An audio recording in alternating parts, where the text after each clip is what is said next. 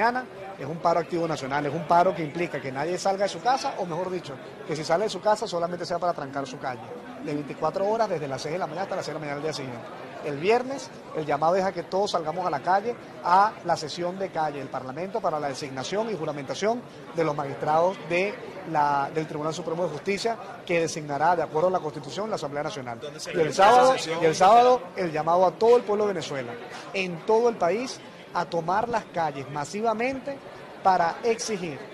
el respaldo de la Fuerza Armada Nacional a la decisión de la Asamblea Nacional, el respeto de los demás poderes públicos a estos magistrados y sobre todo el clamor de todo un pueblo porque Nicolás Maduro salga del poder y tengamos en Venezuela una solución a esta crisis que nos afecta a todos.